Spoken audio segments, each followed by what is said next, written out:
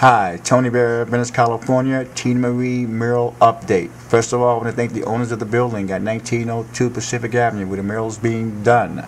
The owners, Alan Bizika, Alan Solo, paid to have the wall taken down and redone so the muralist Jordan B. Nice could have a nice flat surface to work on. Really great. And also Mike Tyson for putting money in for the muralist to uh, do this great mural.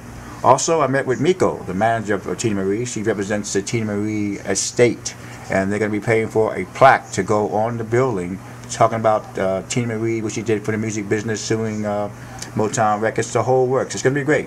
Mill should be done within 30 days. Hi, Tony Vera. Teena Marie Mural is going along on schedule, as you can see. We put a star there for her because the Hollywood Walk of Fame has to wait five years, they told me, because there's a five-year grace period. The mural is located on 1902 Pacific Avenue, one block from the uh, Muscle Beach basketball courts and weight pen. Here's an idea where it's at.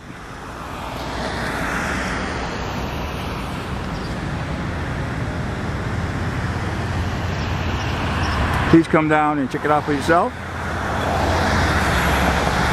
It's going to be great. Millions of cars and people will see this mural of Teena Marie. Jordan B. Nice is the uh, muralist and he's working on it. It should be done within 30 days and uh, we're real proud.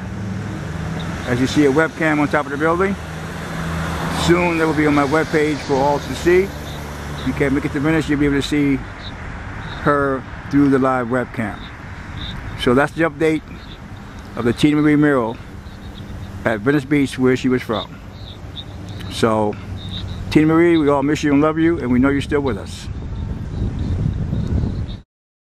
Also, we're going to use this uh, image from the poster to have on the uh, mural of Teena Marie's face. So it's going to be great. And also the jewelry she has around her neck. So that's uh, it. And uh, we will see you soon with another update. Thank you very much.